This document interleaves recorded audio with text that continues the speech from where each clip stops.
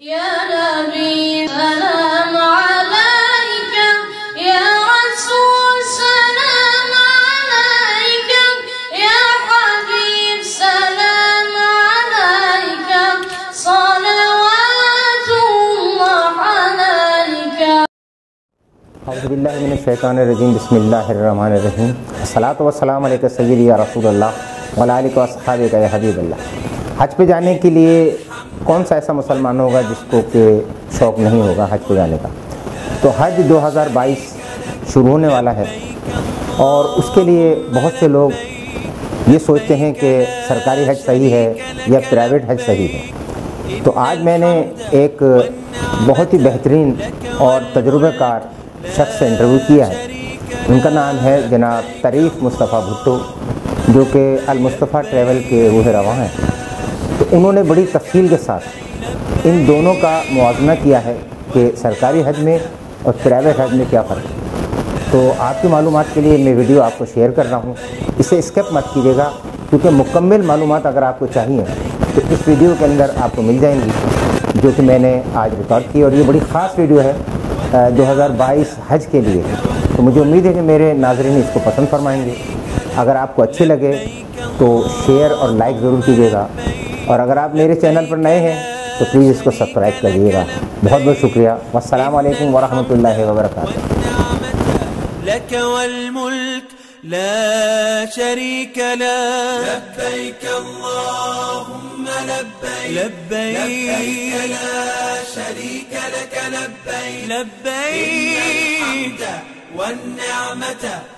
Services को जारी रखते हुए हमेशा की तरह हजाज को हरम के करीब रिहाइश बेहतरीन खाना और जियारात के लिए सहूलियात फराहम की। हजाज ने इनकी बेमिसाल खिदमत पर अपने तासरात का इजहार कुछ इस तरह से किया। बहुत अच्छा सर्फ था। आ, वहाँ पे ऑब्वियसली हम लोग तो सोल पर्पस तो इबादत का था इबादत भी की और जो वहाँ पे फैसिलिटीज़ थी मतलब रहने के हवाले से खाने पीने के हवाले से कोई शिकायत नहीं थी सब कुछ टाइम पे हो रहा था। I think attitude was above excellent, so uh, I'm highly satisfied with the services and uh, with the overall atmosphere. कम इतनी छोटी सी उम्र में हज की सादत हासिल की? मुझे अच्छा लगा। सहूलत के साथ Hajj organisers association of Pakistan. हजाज को हरमैन शरफैन में बेहतरीन सर्विसेज़ मुहैया करके मिसाल कायम की। इस मौके पर हुजाज ने उनकी खिदमत को सराहते हुए कहा हमें किसी चीज़ की कोई तकलीफ़ नहीं हुई।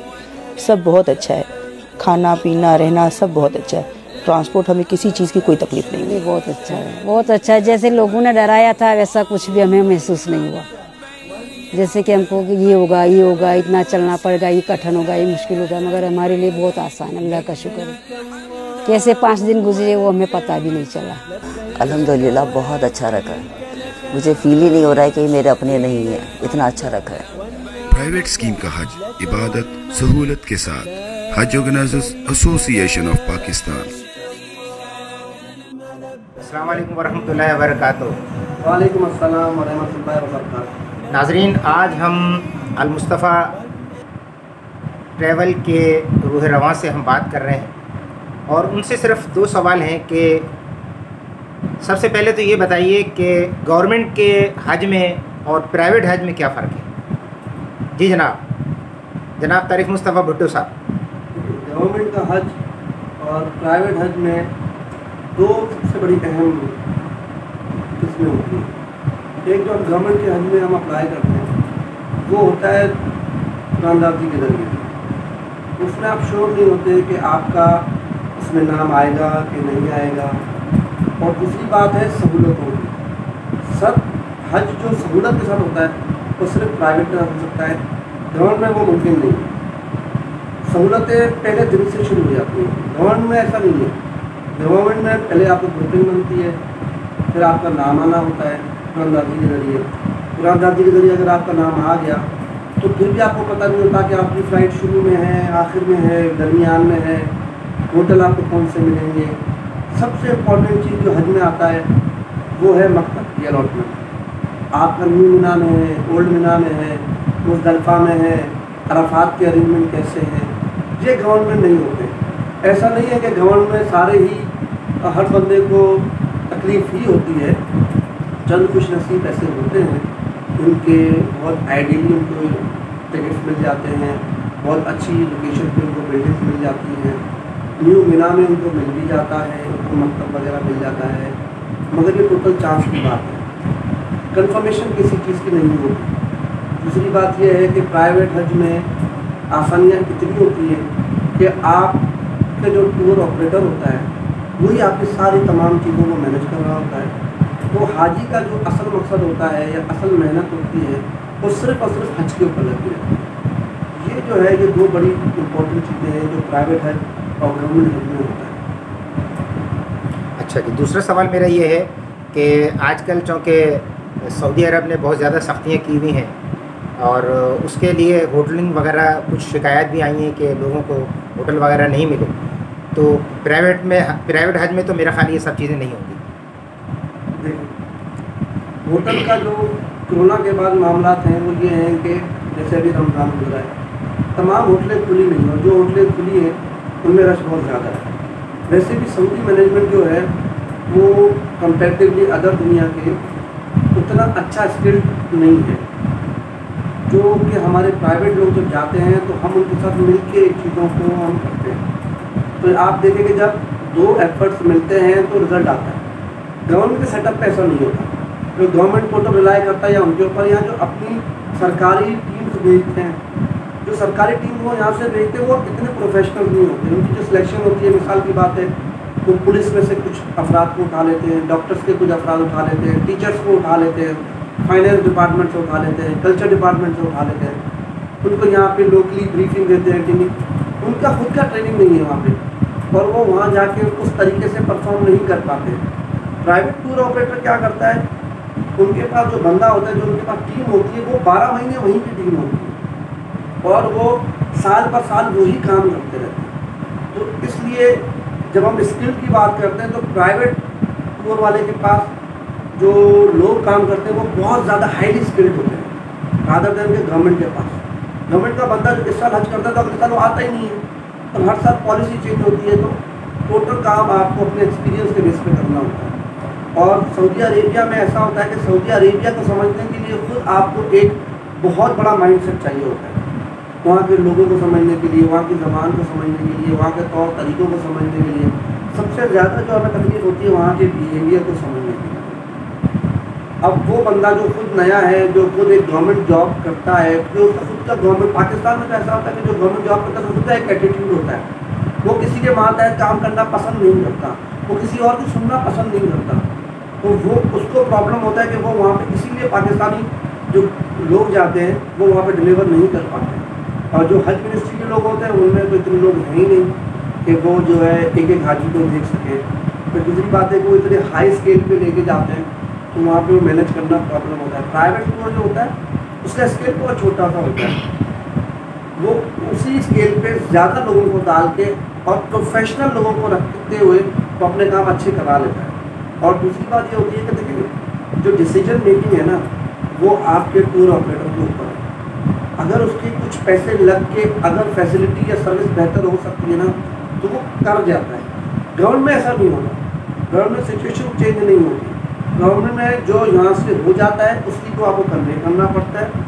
वहाँ पे आपको अपनी मदद आपके तहत कोई भी नए काम या कोई भी नई फैसिलिटी या किसी भी किस्म के अरेंजमेंट्स करने के लिए आपको खुद करना पड़ता है। प्राइवेट में ऐसा नहीं होता। प्राइवेट में वहाँ पे मुशावरत होती है, चीज़ें होती हैं और वो हो जाती हैं। एक छोटा सा मिसाल है। हम जब प्राइवेट टूर ऑपरेटर जब हम यहाँ से निकलते हैं तो उसमें से हम यही डिसाइड कर लेते हैं कि आया हमारा जो मकतब है वो ओल्ड मीना में है या न्यू मीना में? अब फतवा आ जाता है तो हम तो वहाँ कुछ नहीं कह सकते, मगर हज हमें मीना में ही पढ़ना है, जिसको अभी ओल्ड मीना कहते है। अब न्यू मीना जो है बेसिकली वो मुजदलफा की हद लग जाती है। पिछले तमाम सालों में मुजदलफा की हद रही, इस साल न्यू मीना कहकर उसको मुजदलफा में कर दिया। तो जो रुकन होते हैं जो हज के, वो अगर सही रुकन सही वक्त पे ना किया गया तो वो हज का जो असल वैल्यू है, वो वो नहीं रहती है। लेकिन कबूल करने वाला तो रब की वो आपका हज उनसे कबूल कर ले। तो और वहाँ पहुँच के भी अगर किसी का हज कबूल ना करे तो कबूल होना और ना होना वो हमारे लिए नहीं है। जो हमारे हाथ में है, वो ये है कि हम सिर्फ़ हाजी की खिदमत कर सकते हैं, जितना हमसे हो सकता है। और फिर जितना आसाशी हम दे सकते हैं, आसानियाँ पैदा कर सकते हैं अल्लाह के हुक्म से, वो हम करते हैं, मेहनत करते हैं। अच्छा जी, एक और सवाल है कि आजकल हज ज़रा महँगा हो रहा है क्योंकि गवर्नमेंट का भी तकरीबन दस लाख तक पहुँच जाएगा। तो आप क्या एग्जेक्टिव हज करवाएँगे? आपका कोई पैकेज है? तो आप हमें ज़रूर बताएँगे और अपना फ़ोन नंबर भी देंगे ताकि मेरे नाजरीन अगर आपसे रब्ता करना चाहें तो वो रब्ता करें देखिए, इस साल हज काफ़ी महँगा है। इसके मुख्तलिफ़ वजूहत हैं। कोरोना की वजह से भी दो साल के बाद खुला है, अरेंजमेंट्स में है। कुछ हमारे मुल्क की हालात की वजह से, कुछ हमारी जो करेंसी की डी वैल्यू हुई है, कुछ उसकी वजह से, कुछ वहीं से चीज़ें सऊदिया से महँगी होती आई हैं। हम किसी को ब्लेम ना देंगे, ना पाकिस्तान हो, ना सऊदिया हो। हज और उम्र किसी दौर में आसान नहीं पहले लोग ऊँटों पर चल के आते थे तो पहले मुशक्क़त दूसरे किस्म की थी, पहले मुश्किल दूसरे किस्म की थी। इस साल मुशक्क़त और मुश्किल दूसरे किस्म की हम ये नहीं कह सकते कि ये पाकिस्तान की सियासी वजूहत से सऊदी अरेंजमेंट की नहीं ये ऐसी चीज़ है इसकी हम नीयत यही करते हैं कि अल्लाह इसको आसान फरमा उसको कबूल फरमा तो रही बात के अब पैकेजेस क्या आ रहे हैं। अभी तक गवर्नमेंट ने अपना फाइनल तो पैकेज अनाउंस नहीं किया बट उम्मीद यह है कि साढ़े नौ, दस लाख तक गवर्नमेंट का पैकेज जाएगा तो प्राइवेट का आज तो आप बिल्कुल समझ लेंगे, इसके डबल में जाने वाला है। साल हमारा जो इरादा है, हमने इस साल इरादा किया है कि हम इकोनॉमी पैकेजेस पे काम नहीं करेंगे। क्योंकि तो जो हालात अभी हम देख के आए हैं रमज़ान में, कुछ सख्तियाँ हैं, कुछ पाबंदियाँ हैं, कुछ मुश्किल हैं, कुछ रुकावटें हैं, उनको देखते हुए इकोनॉमी हज में ऐसा लगेगा कि हाजी जो है, उसका पैसा जो है ज़्यादा लग जाएगा और जो लोग आना है या जो अरकान हज के मुकम्मल होने हैं उस तरीके से नहीं हो सकेंगे। तो फिलफॉर हमारा तो इरादा नहीं है इकोनॉमी हज का कोई पैकेज निकालने के लिए। अलबत् हज एग्जैक्टिव हज जिसे हम कहते हैं, या आप इसको सही लफ्ज़ कहेंगे कि आसाइशें जिसमें ज़्यादा से ज़्यादा हों और आपकी इबादतें अच्छी से अच्छी हो सकें तो फाइव स्टार के हज होंगे, मक्का में फाइव स्टार क्लॉक टावर की होटल होगी, मदीना में लेडीज़ के फाइव स्टार की होटल होगी, खाने सब होटल की तरफ़ से होंगे मकतब भी आपको करीब से करीब करीब मकतब लिए जाएँगे, एक, दो, तीन, चार मकतब के अंदर अंदर होंगे। डायरेक्ट एयरलाइनें होंगी सऊदी एयरलाइन की। जाएगी और जितनी सर्विसेज़ होंगी, सब लग्जरी सर्विसेज़ होंगी, ताकि आप जिस नीयत से जा रहे हैं, जिस मकसद से जा रहे हैं, वो मकसद हासिल हो सके। तकरीबन आप समझ लें कि अगर 10 लाख का सरकारी हज है तो प्राइवेट हज 14-15 लाख से शुरू हो इसके अंदर 14 दिन का पैकेज भी सोचा है बनाने को 18 दिन का भी सोच रहे हैं बनाने को। तो 14 दिन 18 दिन 20 दिन से ज़्यादा का पैकेज हम कहीं प्लान कर रहे हैं। क्योंकि जितनी मुश्किलें आते हैं और जितनी रुकावटें हैं तो बहुत टाइम होगा ज़ाया ही होगा। तो दो से तीन दिन अगर मेहनत करके हम आ, अपने हज का पीरियड और हरम मक्का का और मदीना का दो दो तीन दिन गुजारे अच्छे तरीके से फ्रंट पर रहते हुए करीब रहते हुए तो हमारे ख्याल में वो ज़्यादा बेहतर होगा। इस तरह हमारा इरादा भी वही निकालना बहुत बहुत शुक्रिया तरीफ मुस्तफ़ा भुट्टो साहब बहुत खुशी हुई आपसे मिल और आपने बहुत सैर हासिल गुफ्तु की।